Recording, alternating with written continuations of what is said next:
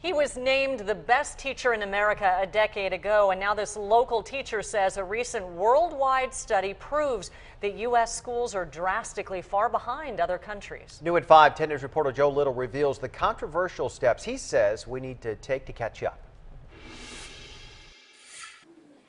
The grades aren't good. I'm extremely disappointed. According to the Program for International Student Assessment, the United States is not doing well in the classroom. Within an industry. One time National Teacher of the Year Keith Ballard says we have no one to blame but ourselves. We are failing many kids here in America. In three categories, the United States fell woefully behind other countries, especially China.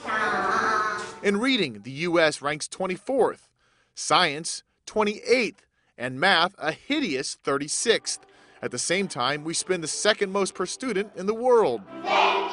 Ballard, a South Bay music teacher, says the countries at the top realize early on that some kids aren't cut out for college. The main thing is that they don't believe that all kids are going to go to college. Ballard believes the 50% of kids who drop out before high school graduation would be better off selecting a vocational school when they turn 14. That's exactly what I'm advocating. Ballard has visited classrooms in more than 80 countries like Germany.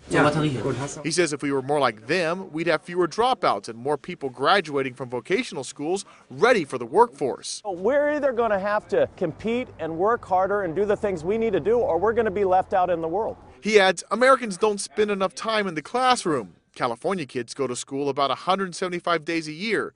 Chinese kids go 230. And don't get them started on football.